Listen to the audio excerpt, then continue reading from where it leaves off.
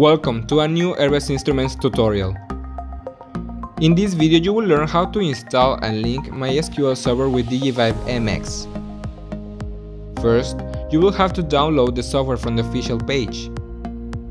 Then, double-click on MySQL Installer Community. It's important to be connected to the internet when you are installing the software. In the wizard main page, click Next. In the Select Products to upgrade, select the connector net if not already selected and click Next. The Apply Updates window will show the product select in the window before. Click Execute and wait until the update is completed and click Next. In this window, click Finish. In the MySQL installer window, choose the Add option. In Select Products and Features window, select in the navigation tree MySQL Servers. Then, click MySQL Server 5.7 and then, according to your system, select 64 bits or 32 bits. Click on the arrow button and then the product will appear on the right panel. In the navigation tree, click Applications. Then, click MySQL Workbench. Choose MySQL Workbench 8.0 and then according to your system select 64 bits or 32 bits. Click on the arrow button and the product will appear on the right panel. Once these products are added, click Next. In the installation window, click Execute. Wait until the installation is complete and click Next. In the product configuration window, click Next. In the High Availability window, choose the standalone MySQL server, this to have a better performance. In the Type and Networking window, it's recommended to choose Server Computer in the Config type, and click on the Name Pipe box. Click Next.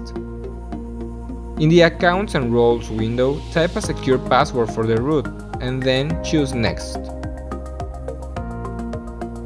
In the Apply Configuration window, Click Execute and wait until the changes are applied. Then, click Finish. In the Product Configuration window, choose Next. In the next window, you can select if you want to start MySQL Workbench right now or later. Then click Finish. Now, you will be in the MySQL installer window again showing all the software installed. Now, you can close the window. Wait for MySQL Workbench to start. Here we can find a default instance, but we can also create a new one with the plus button. Choose a name and then click OK. When you click any of the instances, the software will ask you for the password you wrote when installing. Once the instance is open, right-click on the Schemas panel and choose Create Schema. Here you can create a new database inside our instance. Choose the name and then click Apply then OK, and to finish, click Apply. To connect to the database through Digivibe, with the Connect button, choose MySQL option and then click Localhost.